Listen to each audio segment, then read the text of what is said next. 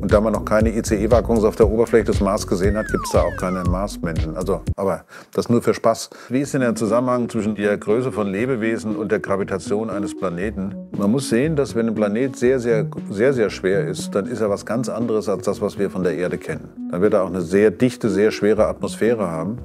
Äh, das heißt, wenn ein Lebewesen da überleben will, dann wird es flacher, kleiner sein wenn die Atmosphäre zu dünn ist, müsste ein Lebewesen im Prinzip schon deswegen größer sein, weil um bestimmte Stoffwechselprozesse anzuregen, muss eine bestimmte Atmungsfrequenz, eine bestimmte Art Luftmenge auch aufgenommen werden. Wenn wir jetzt mal nur an den Sauerstoff denken, ähm, da gibt es ja so eine schöne Rechnung, Marsmenschen hätten bei der atmosphärischen Dichte, die ja momentan ist, ungefähr einen Brustkorb so groß wie ein ECE-Waggon.